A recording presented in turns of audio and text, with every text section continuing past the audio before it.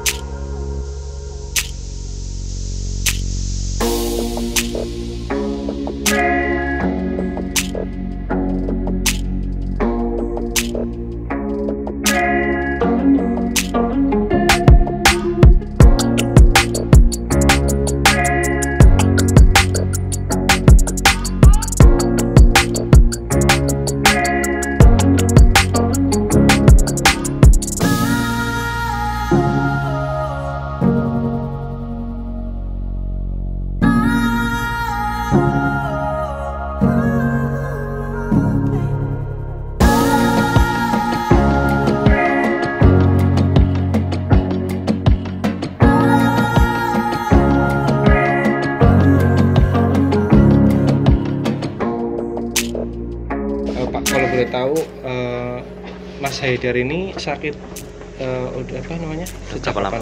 ya kecil. kita kecil sih Sejak kecil dari, dari emang umur tiga tahun ya li- empat tahun lah. empat tahunan Oh, aku empat tahun. kan kelihatan terapi.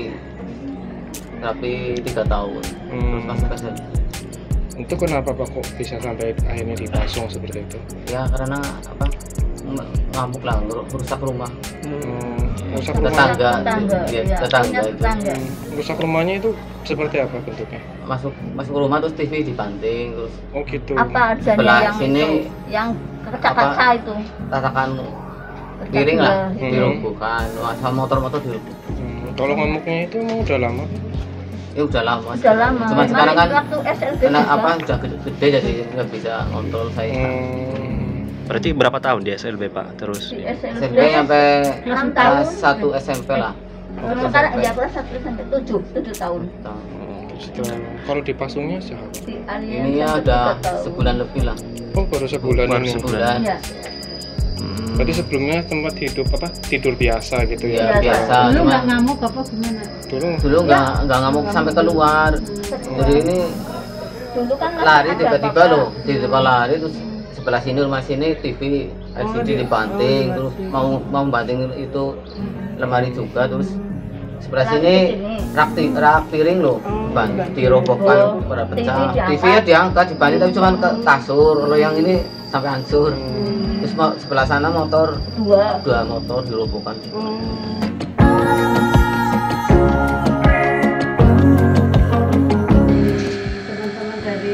DKK ya, Dinas Kesehatan dan teman-teman dari Kemensos ya, dan dari rumah sakit semoga bisa sembuh, bisa beraktivitas lagi sebagai anak yang masih remaja. Ya, kasihan saya lihat saja kasihan. Anaknya masih segar, bagus. Eh, saya sebagai lurah Tanjung, saya terima kasih sekali atas kerjasama.